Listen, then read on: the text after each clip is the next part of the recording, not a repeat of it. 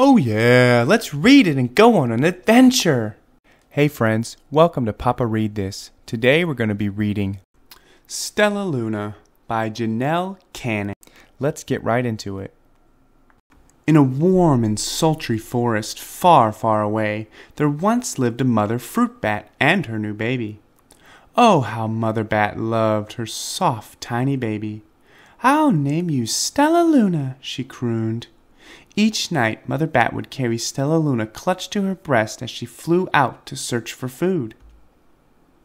One night, as Mother Bat followed the heavy scent of ripe fruit, an owl spied her. On silent wings, the powerful bird swooped down upon the bats. Dodging and shrieking, Mother Bat tried to escape, but the owl struck again and again, knocking Stellaluna into the air. Her baby wings were as limp and useless as wet paper. Down, down she went, faster and faster, into the forest below. The dark, leafy tangle of branches caught Stellaluna as she fell. One twig was small enough for Stellaluna's tiny feet. Wrapping her wings about her, she clutched the thin branch, trembling with cold and fear. Mother, Stellaluna squeaked, where are you? By daybreak, the baby bat could hold on no longer. Down, down, again she dropped. Flump! Stellaluna landed head first in a soft, downy nest, startling the three baby birds who lived there. Stellaluna quickly clambered from the nest and hung out of sight below it. She listened to the babble of the three birds. What was that? cried Flap. I don't know, but it's hanging by its feet, chirped Flitter. Here comes Mamma, hissed Pip. Many, many times that day, Mamma Bird flew away, always returning with food for her babies. Stellaluna was terribly hungry, but not for the crawly things Mamma Bird brought. Finally, though, the little bat could bear it no longer. She climbed into the nest, closed her eyes, and opened her mouth. Plop! In dropped a big green grasshopper. Stellaluna learned to be like the birds. She stayed awake all day and slept at night. She ate bugs, even though they tasted awful. Her bat ways were quickly disappearing, except for one thing. Stellaluna still liked to sleep hanging by her feet. Once, when Mamma was away, the curious baby birds decided to try it too. When Mamma Bird came home, she saw eight tiny feet gripping the edge of the nest. Eek! she cried. Get back up here this instant! You're going to fall and break your necks! The birds clambered back into the nest, but Mamma Bird stopped Stellaluna. You are teaching my children to do bad things. I will not let you back into this nest unless you promise to obey all the rules of this house. Stellaluna promised.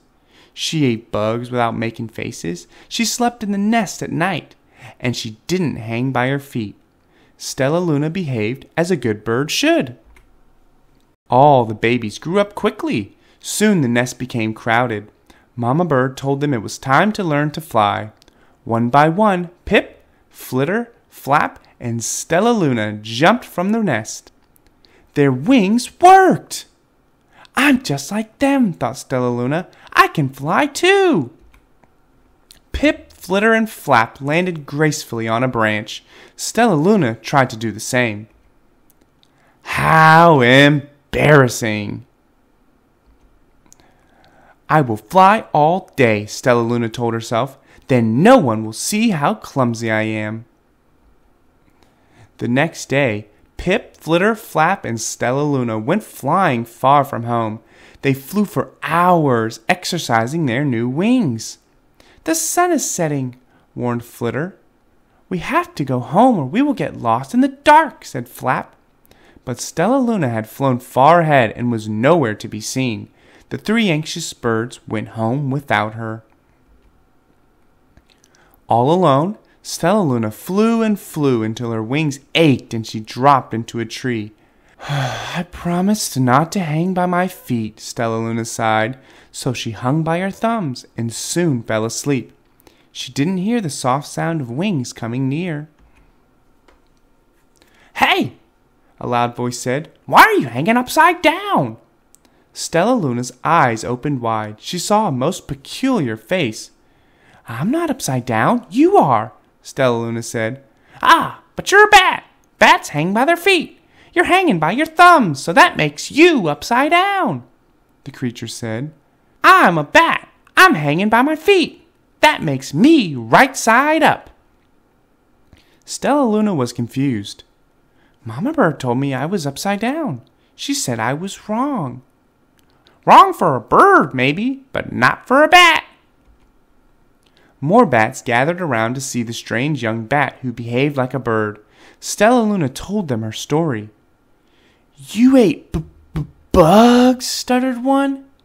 You slept at night? gasped another. How very strange, they all murmured. Wait, wait, let me look at this child. A bat pushed through the crowd. An owl attacked you? she asked, sniffing Stellaluna's fur. She whispered, You are Stellaluna. You're my baby. You escaped the owl? cried Stellaluna. You survived? Yes, said Mother Bat as she wrapped her wings around Stellaluna. Come with me and I'll show you where to find the most delicious fruit. You'll never have to eat another bug as long as you live. But it's night time, Stellaluna squeaked. We can't fly in the dark or we'll crash the trees. We're bats, said Mother Bat. We can see in darkness. Come with us. Stellaluna was afraid, but she let go of the tree and dropped into the deep blue sky. Stellaluna could see. She felt as though rays of light shone from her eyes. She was able to see everything in her path. Soon the bats found a mango tree, and Stellaluna ate as much of the fruit as she could hold. I'll never eat another bug as long as I live, cheered Stellaluna as she stuffed herself full. I must tell Pip, Flitter, and Flap. The next day, Stellaluna went to visit the birds. Come with me and meet my bat family, said Stellaluna. Okay, let's go, agreed Pip. They hang by their feet and they fly at night and they eat the best food in the world, Stellaluna explained to the birds on the way. As the birds flew among the bats, Flap said, I feel upside down here. So the birds hung by their feet. Wait until dark, Stellaluna said excitedly. We will fly at night.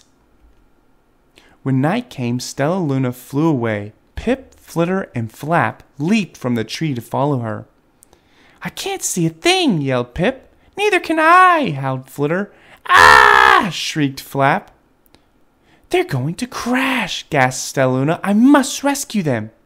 Stellaluna swooped about, grabbing her friends in the air. She lifted them to a tree, and the birds grasped a branch. Stellaluna hung from the limb above them. We're safe, said Stellaluna. Then she sighed. I wish you could see in the dark, too. We wish you could land on your feet, Flitter replied. Pip and Flap nodded. They perched in silence for a long time. How can we be so different and feel so much alike? mused Flitter. And how can we feel so different and be so much alike? wondered Pip. I think it's quite a mystery, Flap chirped. Agreed, said Stellaluna, but we're friends, and that's a fact. And that brings us to the end of our magical adventure with Stellaluna. What a captivating and heartwarming story, my fantastic audience. I hope you enjoyed joining me today as we followed Stellaluna on her extraordinary journey of self discovery and friendship. This remarkable adventure reminds us of the importance of embracing our differences and finding common ground. If you were touched by the tale of Stellaluna's courage and the power of acceptance, please give this video a thumbs up and share with others who appreciate the beauty of storytelling. In the enchanting world of books, we embark on journeys that not only entertain but also teach us valuable life lessons. Stellaluna encourages us to celebrate our unique qualities and embrace the beauty of diversity. If you'd like to continue exploring wonderful stories with me and stay updated on all the exciting things happening in our book loving community, make sure to follow me on social media. Also, if you'd like to add Stellaluna to your own collection, you can find the book through the link in the description below. It's a timeless classic that inspires empathy, understanding, and the power of friendship.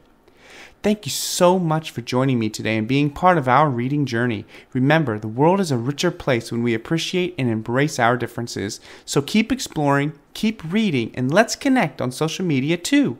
Until our next extraordinary tale, take care and happy reading.